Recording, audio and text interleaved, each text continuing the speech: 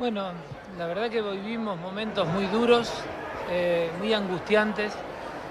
Reconstruir los hechos que paralizaron a la ciudad de Rosario, la verdad que solamente ponen en claro cómo fue la, la lógica criminal y lo que se pretendió hacer.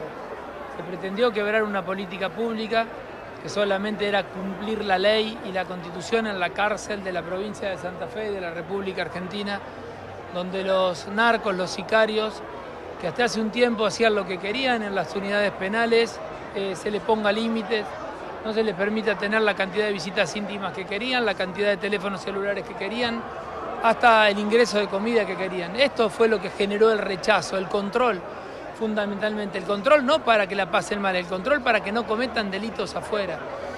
Con lo cual quedó, creo, probado la audiencia imputativa con las declaraciones de los testigos y con los elementos de prueba cómo se construyó este plan criminal para golpear una política pública. Nosotros queremos que le caiga todo el peso de la ley a los mayores y a los menores también.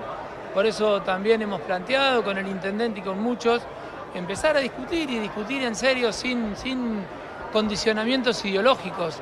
Porque cuando un menor mata, lamentablemente puede seguir en libertad y puede volver a matar. Con lo cual mi planteo sobre esto, y se lo he planteado a legisladores nacionales, es que cuando un menor pertenece a una organización de crimen organizado, a una organización violenta, el delito que lo comete como un mayor tiene que tener una pena de mayor, tenga la edad que tenga.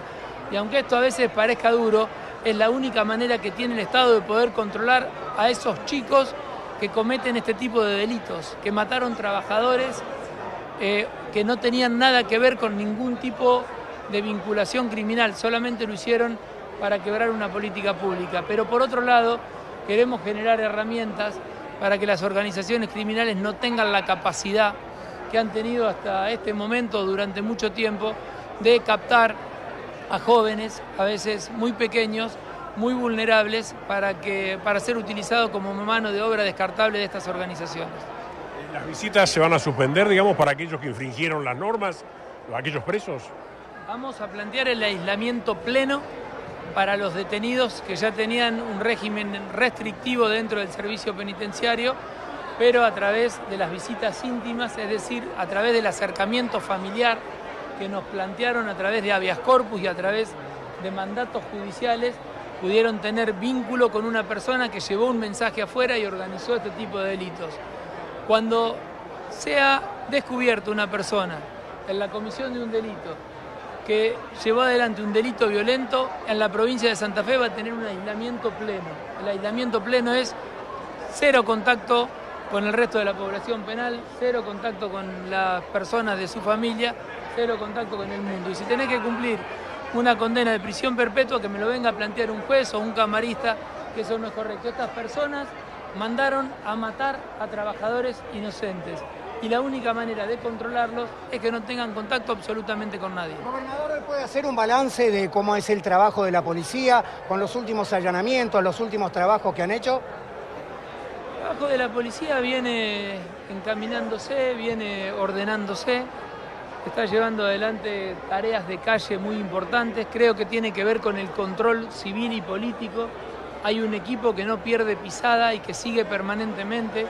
Yo particularmente tengo reuniones permanentes con la unidad regional 2, con la unidad regional 1 y voy viendo la cantidad de móviles que tenemos en calle, los dispositivos que tenemos eh, operativos activos, la cantidad de identificaciones de personas, de vehículos, de motovehículos, la cantidad de secuestros de armas de fuego que se van llevando adelante, eso cruzado con el mapa de calor, con el mapa de delito y por supuesto con las principales investigaciones. Eh, falta muchísimo, pero falta muchísimo, Mauro, para poder decir que la policía está logrando dar todo lo que puede dar. La policía puede dar mucho más. Claramente hubo un avance significativo en lo que es el procedimiento de operación policial de prevención en calle. Hubo un avance muy claro en lo que fueron las investigaciones, lo pueden haber visto ustedes.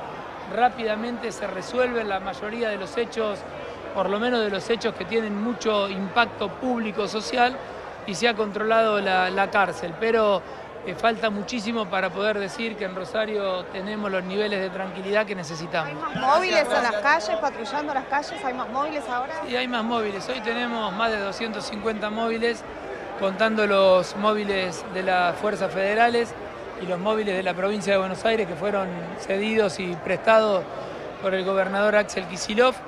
Eh, cuando teníamos 20 en diciembre, estamos teniendo 250, 280 en cada turno las 24 horas en la ciudad de Rosario.